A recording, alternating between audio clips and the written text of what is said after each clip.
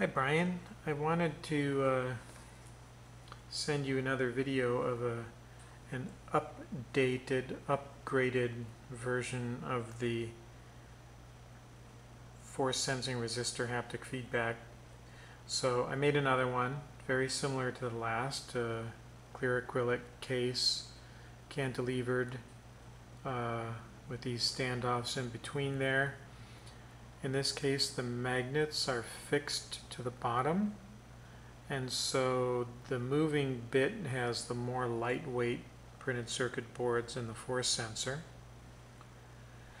And um, interestingly, while I'm sitting here programming this device, of course I'm using my MacBook Pro, and realize that this essentially is the click I want to go for, which is the trackpad on my MacBook Pro. So I've been programming this,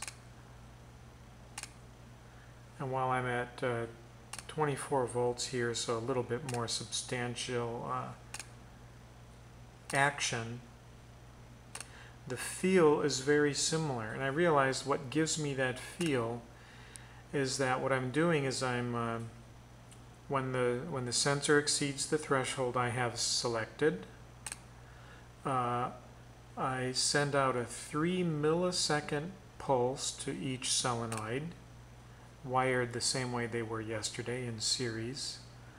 Uh, so I send out a 3 millisecond pulse followed by an off time, a wait period of 50 milliseconds, and then another 1 millisecond pulse.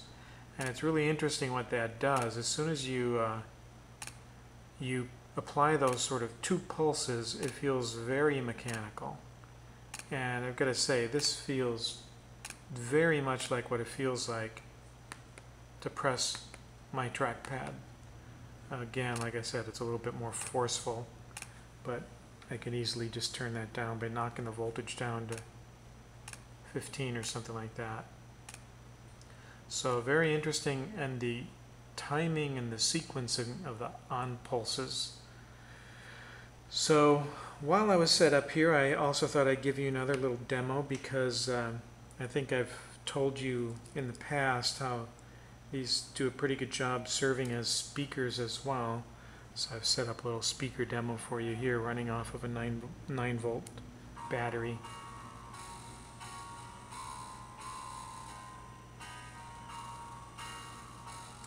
So that is just the exact same input. Instead now I've switched over to the to the speaker, or sorry, this is just an output of a little tiny amplifier I built. And uh, I think that indicates the dynamic response.